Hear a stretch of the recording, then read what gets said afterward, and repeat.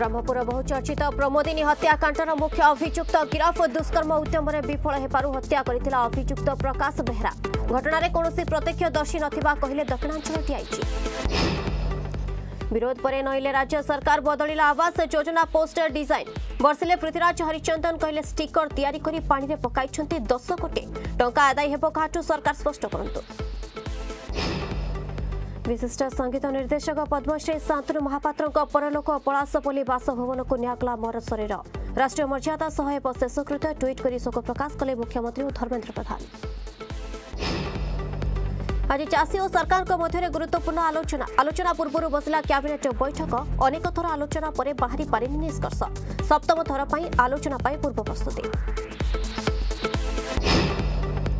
सीमा बद को नहीं चीन को राजनाथ कड़ा चेतावनी कहले आउ चलबनी चीन विस्तारवादी नीति चाषी आंदोलन को नहीं राहुल को टार्गेट चाषी को भ्रमित करोधी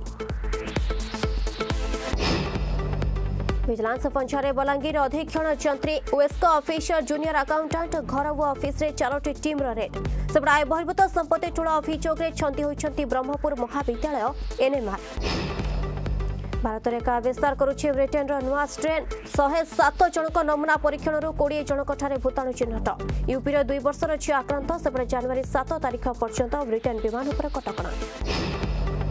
এবং দীর্ঘ মাস পরে চলচঞ্চল শ্রীমন্দির মহাপ্রভুঙ্ দর্শন করুচ্ছন্তি পুরীবাসী ভড়াটিয়া ও কর্মজীবীঙ্কু বি মিলিলা দর্শন পাই টোকন সেপটে দীর্ঘ মাস পরে খোলিলা কোরাপুটর সাবর শ্রীক্ষেত্র